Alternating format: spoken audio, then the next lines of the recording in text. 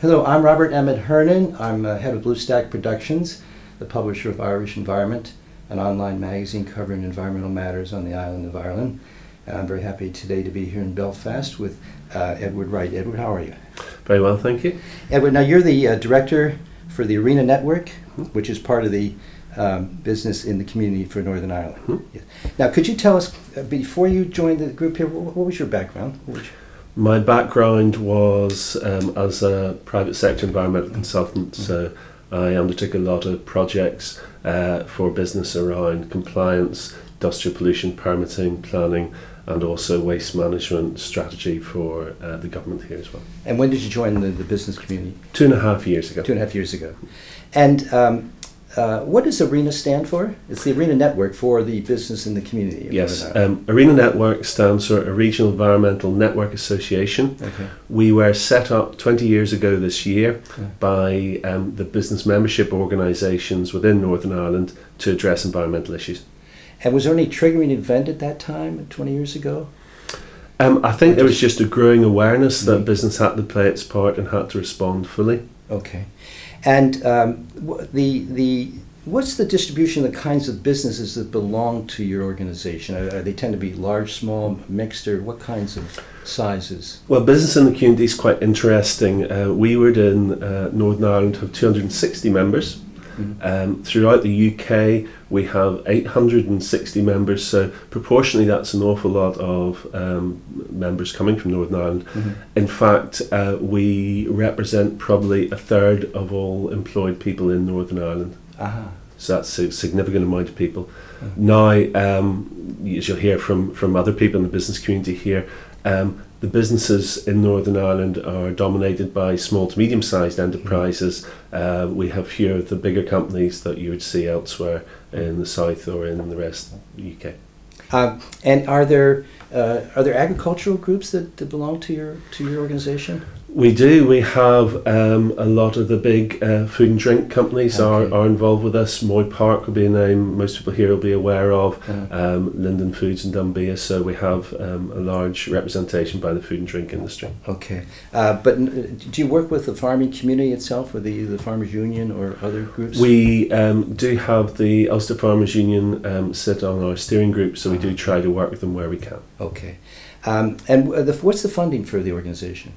Well, the funding for the organisation comes from an extent from membership money. Uh-huh. So there's obviously a charge for um, being a member of the business in the community. Mhm. Um, we also receive um, a lot of funding from the Northern Ireland Environment Agency. Uh-huh. We are one of their three strategic partners uh, to help them interact and work with the business community. Uh-huh. We also would undertake uh, distinct project work for people. This could be private sector work or it could be from another environmental charity or organisation wanting some work done. So with the business committee, there might be some fee generating work that you Yeah. do for them. Okay. So it would be straight private sector style consultancy work where, where possible. For instance, we're exploring opportunities around the new energy savings opportunity scheme Uh-huh. that businesses of a certain size have to do, so we'd be able to provide them support. Okay, and and what's the staffing size of the uh, organization? We would have five full time staff and then generally one or two placement students working with us. Okay, now Ed, I wonder if you could tell the audience what the uh, business in the community in Northern Ireland is and what it does in a general way. Generally, business in the community is a, a corporate responsibility organisation. Its aim is to harness business to be a source for good. Uh-huh. Um, we like to split our operations into um, three areas. So there's planet, which obviously covers the environmental strand. Um, there's people, which is our work in health and well-being, and place, which is our work with communities. So we try to get businesses to engage with their community, their place, be it helping um, other small businesses, providing board members to charity boards, a whole range of things. Okay. Now, I thought we would focus on a couple of those Mhm. projects that you're involved with. And certainly one of the, the larger projects that you do is the Environmental Benchmarking Mhm. Survey. I wonder if you could tell the audience what that Yeah. is. It's a very interesting project we've been running now since 1998. Mhm. The purpose of the benchmarking survey is to establish the performance of um, business within Northern Ireland. Uh, this is done through um, an annual, uh, quite a detailed um, database questionnaire Yeah. that the businesses complete. Um, and then this is subject to some external uh, review, so it's an independent, authoritative survey. Mhm. Um, the interesting thing and what we have done with the survey is it's no longer simply a benchmarking exercise. Mhm. Uh, we've ratcheted up the requirements. If you would request the, if you sorry, if you looked at the scoring Mhm. 20 years ago, 18 years ago, from what we look at now, you'll have seen this the sea change. Uh-huh. And the thing that pleases me most is many businesses have said to us, "Oh, we only started taking, for instance, our transport seriously because you told us it was going to be an area of um, interest in the survey." Okay. So it's actually generated change and Uh-huh. not just benchmarking. Recently, we're also looking to expand the survey. So we're introducing things like the top performers. We're going to have a Chatham House rule style meeting of the environmental practitioners there. So in an open environment, they can share what succeeded for them, what isn't working, and help Uh-huh. each other. So we use it for more than just the benchmarking. There's a lot of good things we can get out of it. Are, are you finding over the years that they're within the small and medium uh, enterprises that they're becoming people with major responsibilities for the environmental issues addressing by that company? Um, there is, I suppose, there's two cut-off points. There would be, as you uh, hinted at, there. There's a size threshold. So for Mm. very small companies, it's not practical to have someone with too much environmental responsibility. Mhm. But there's also an industry sector element. Uh-huh. So construction will have quite a strong environmental wing. Uh-huh. Um, the same waste industry, obviously, and food and drink. Certainly, in the past ten years, it's become more of a priority. Now, uh, talking about waste is one of the issues that you've uh, dealt with too. Is, the, is your Towards Zero Waste campaign Mhm. from last year? Mhm, If you could talk just what that is. Right. Well, um, so we talked previously about our membership. Our membership ranges from big organisations, thousand people, multinational companies, down to um, four men and a dog um, in a rented office at Belfast. So we needed something to engage everybody with resource efficiency and waste. Now, for um, people like the multinationals, they often have things in hand. Mhm. Um, so what support they want would be very different from, say, a small five-man construction business who are at the early stages of this. Mhm.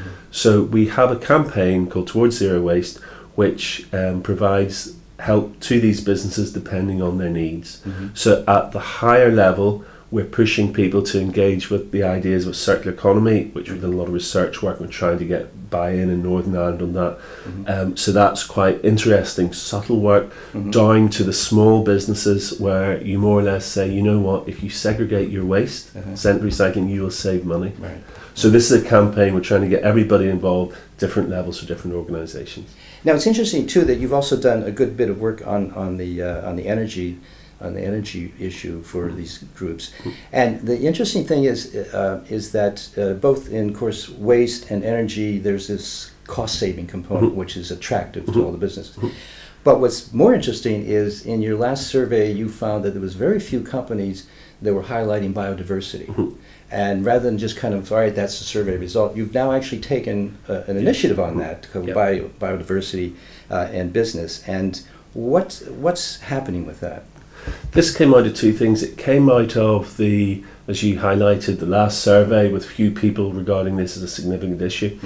It also came out of the draft um, Northern Ireland Biodiversity Strategy Uh-huh. um, up to 2020.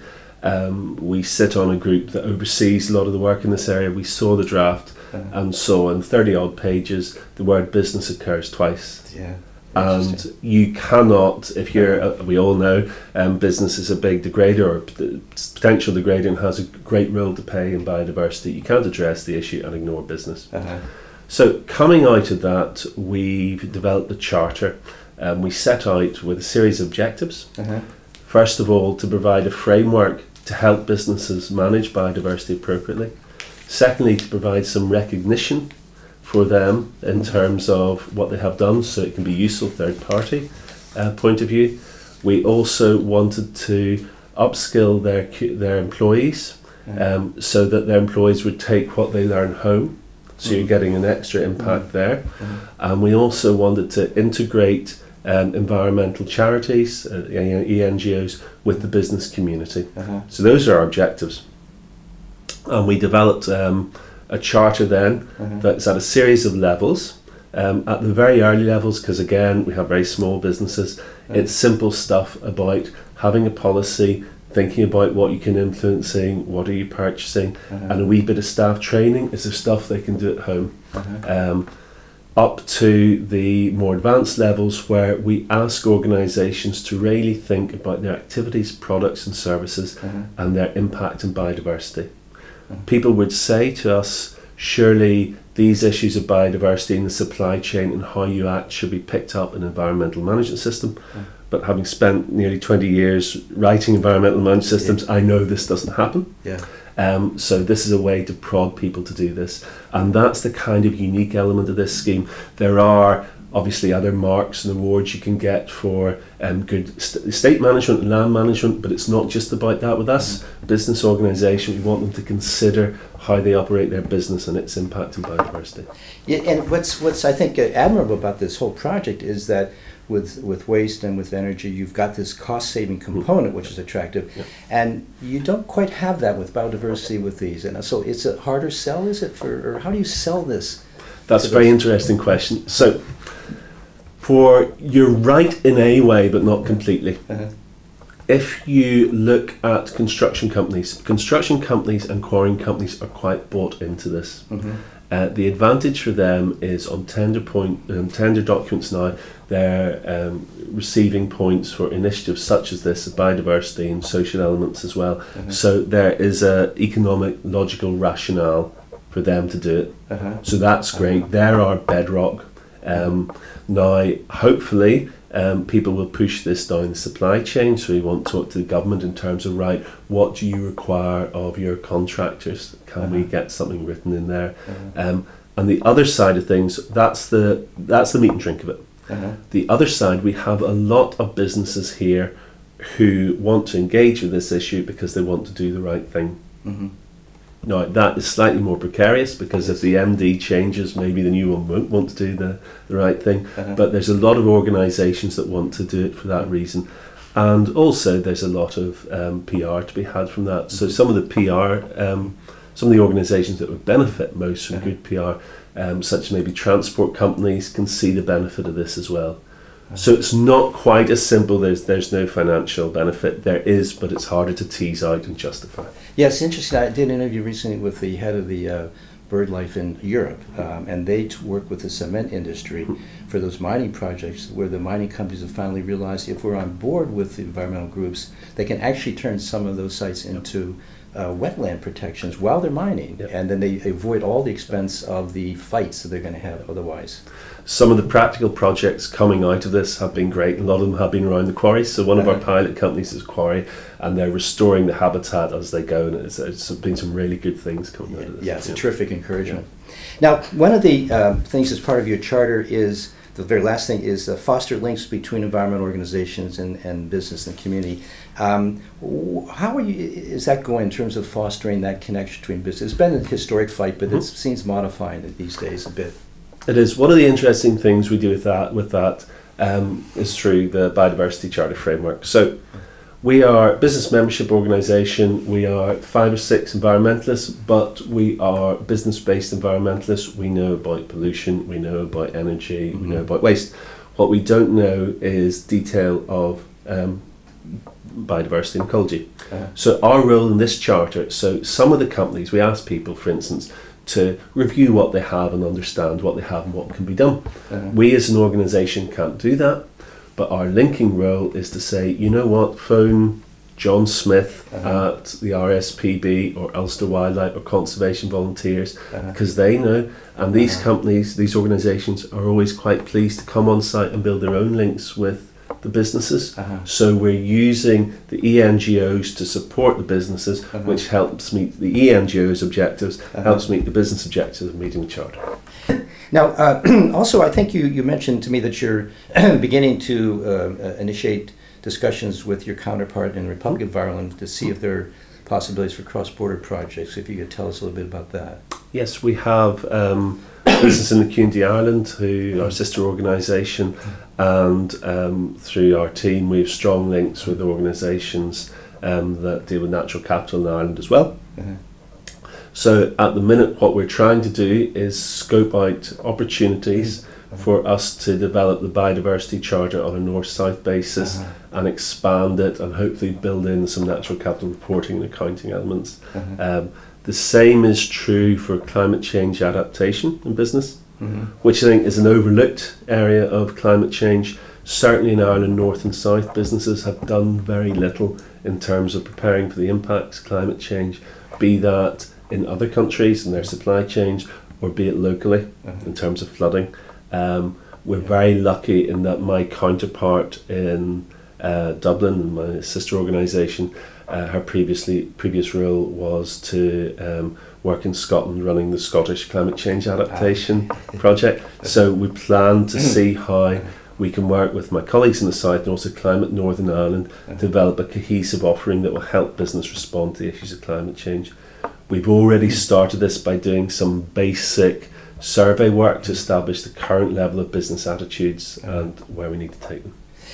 now, we've been talking a lot about focusing on how uh, business can work with the environmental groups. Um, what would, advice would you give to the environmental groups on how they best can work with the, with the business community? Interesting um, question. I would say make sure you come in with something to offer and make sure you pick the right person at the right time. Um, and remember, it's not simply about funding, as most environmental groups nowadays know. Um, there's a lot of in kind support that could be done. Um, try and tailor what you offer to the needs of the company.